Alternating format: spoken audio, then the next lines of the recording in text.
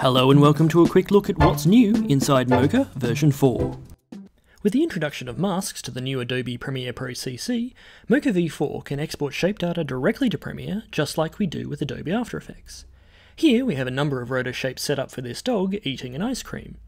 We can then select Export Shape Data and choose Adobe Premiere Shape Data.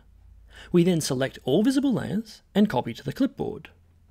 Over in Premiere Pro, we already have the footage in a sequence ready to go, so we select the video track, which brings up the effect controls. Clicking on the opacity section, we can paste the Mocha layers directly to video effects. You can see these layers by twirling down the opacity control. Each Mocha shape is represented by its own Premiere mask layer.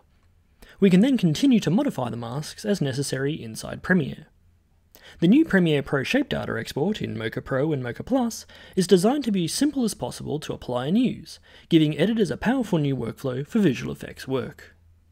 For more information on Mocha Pro and Mocha Plus V4, check out the website at imagineersystems.com.